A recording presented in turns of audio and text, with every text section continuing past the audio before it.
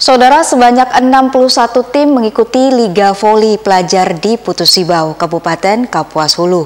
Ajang ini dibuka langsung oleh Bupati Kapuas Hulu, Franciscus Dian.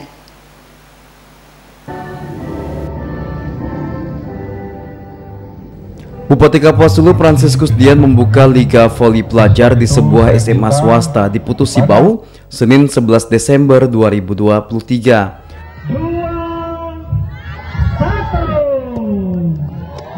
Franciscus Dian mengapresiasi pelaksanaan ajang ini dengan harapan berjalan aman, lancar, dan sukses. Ia meminta agar para pemain menjunjung tinggi sportivitas. Selaku pemerintah daerah Kabupaten Kapuasulu dan juga sebagai Ketua Persatuan Bola Voli Indonesia Kabupaten Kapuasulu, saya sangat mengapresiasi dan memberikan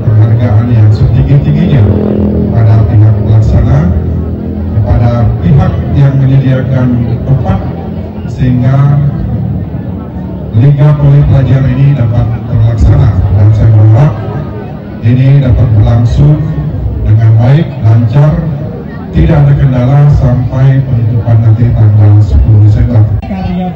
Franciscus Dian juga berharap dengan aktif mengikuti event olahraga, para pelajar terhindar dari hal-hal negatif seperti pergaulan bebas dan penyalahgunaan narkoba.